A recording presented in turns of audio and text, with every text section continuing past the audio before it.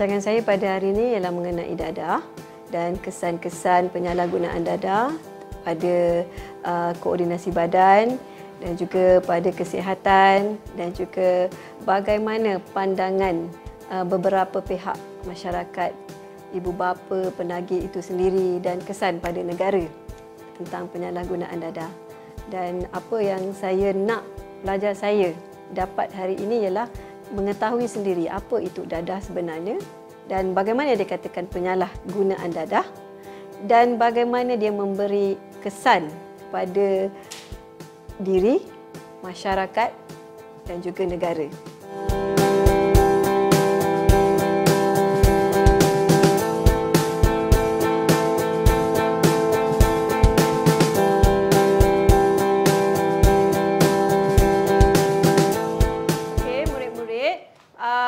Keadaan berpasangan, saya nak kamu mencari maksud dadah dan penyalahgunaan dadah dalam keadaan berpasangan. Okey, terpulang pasangan awak nak buat jenis dadah ataupun uh, maksud dadah ataupun penyalahgunaan dadah. dadah dalam masa 3 minit dari sekarang.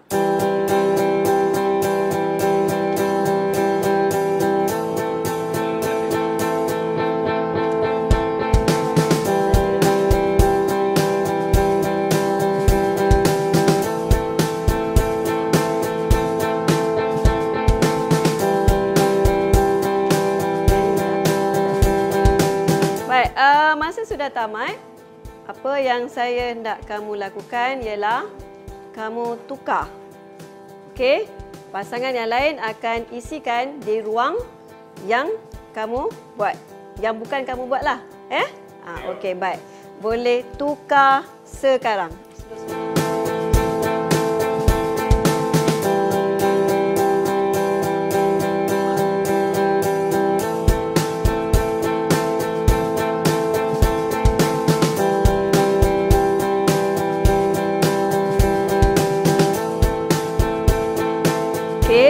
sudah tamat.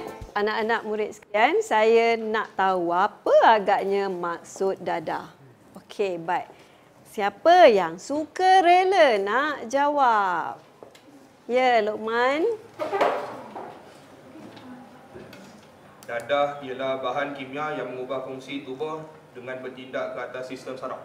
Bahan kimia Bahan kimia yang mengubah fungsi tubuh yang mengubah fungsi tubuh dengan bertindak ke atas sistem saraf. dengan bertindak ke atas sistem saraf. Okey, saya buka kepada murid-murid sekalian. Adakah anda bersetuju?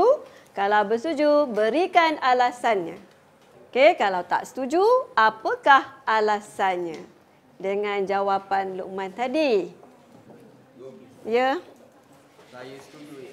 Ah, saya awak setuju. Okey, kenapa awak setuju? Sebab sakit kita akan ambil ubat iaitu dadah juga. Kita ambil dada, dada juga. Maksud awak? Uh, dadah tu sama je macam ubat Panadol ataupun whatever. Ha? Okay. Uh, jadi nak nak nak mengubah fungsi Mengubah fungsi tubuh supaya jadi lebih elok lah. Senang. menjadi lebih elok. Maksudnya dada ni ada yang membantu mempercepatkan. Okey, ada juga yang melambatkan. Okey.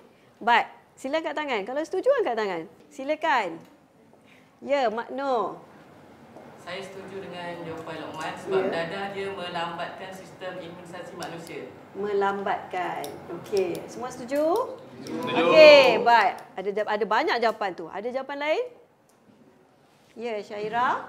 Um, saya setuju dengan jawapan Lokman yang dia kata mengubah fungsi tubuh badan dan tindakan tu sebab sebab kes, dia memberi kesan keseronokan yang singkat sebenarnya. Sebab Memberi kesan yang singkat. yang singkat, terhadap- cepat. Ah, cepat. Tindak balas cepat. Ah, Ah, okey. Dan menyebabkan kelakuan pengguna tu Ya. ketagihan. Ya, dan uh, menyebabkan kelakuan pengguna itu menjadi satu ke ketagihan. Selalu bila ketag- ketagihan itu dia berulang-ulang.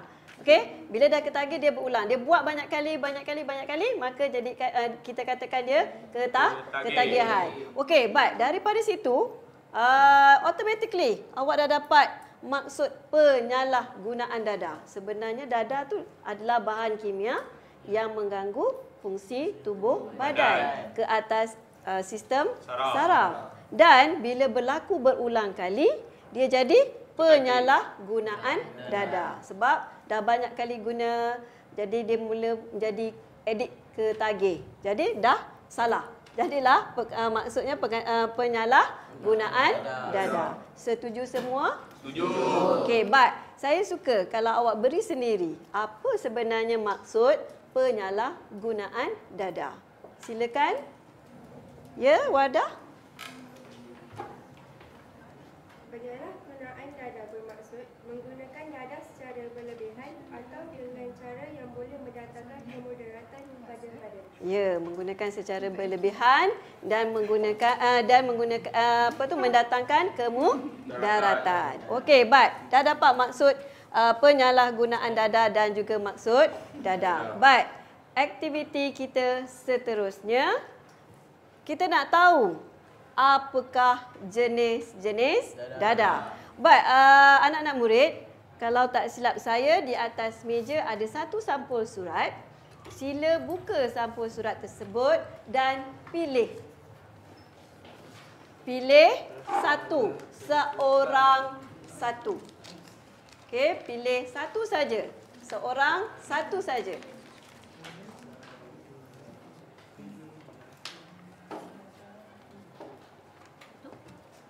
Okey, anak-anak murid dah dapat dan dapat satu kata tugas.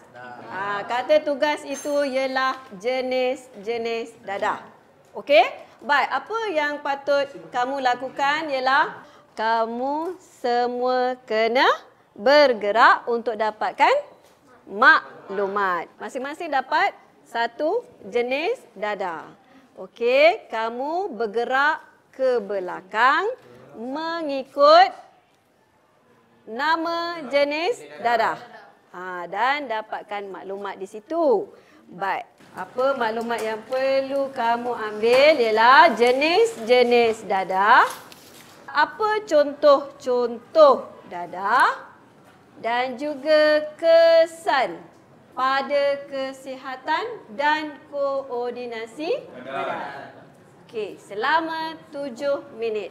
Mula dari sekarang.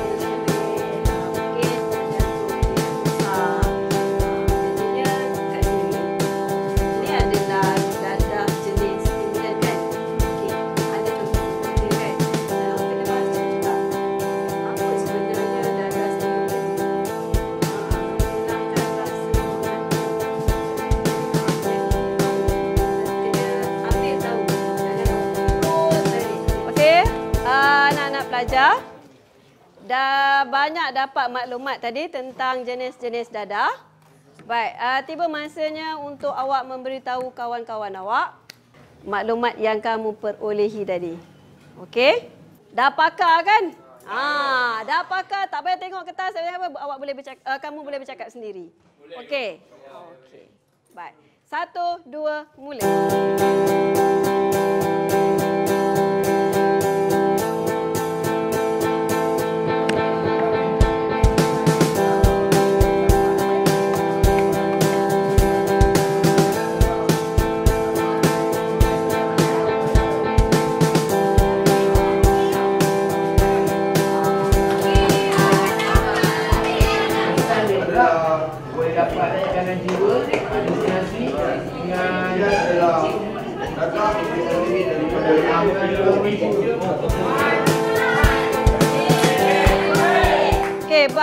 Uh, seterusnya.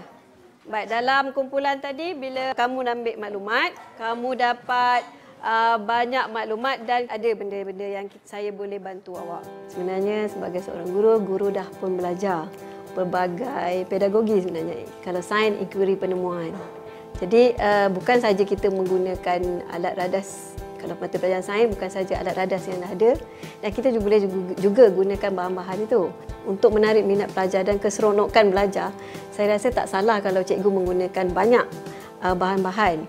Jadi penyediaan pada uh, mulanya memang banyak perlu disediakan tapi bagi saya taklah banyak mana. Dalam buku teks pun kita boleh gunakan. Saya suka kalau bila saya mengajar environment dalam kelas saya ada kena mengena dengan tajuk itu. Jadi bahan-bahan itu bagi saya tidak begitu susah kerana buku rujukan ada. Dan uh, apa yang perlu kita buat ialah mungkin kita foto state ataupun kalau kita tak nak foto state dan laminate, mereka boleh guna sendiri dan ambil sendiri buku rujukan yang telah disediakan. Ambil dan rujuk. Boleh. Tak ada masalah. Tapi saya lebih suka ambil daripada uh, internet dan sebagainya sebagai penambahan dan nampak PDP pada hari itu memang sangat bermakna dan banyak benda kadang-kadang pelajar tak tahu. Ha, kadang-kadang dekat rumah tak ada internet pun, dah tak tengok pun. Jadi dia dapat benda tu. Pada awalnya memang orang kata banyak masa perlu dia. Tapi bagi saya, setakat benda yang ada dalam buku ataupun download, just print. Lepas tu kita laminate, tampal. Pada masa akan datang kita akan gunakan juga lagi.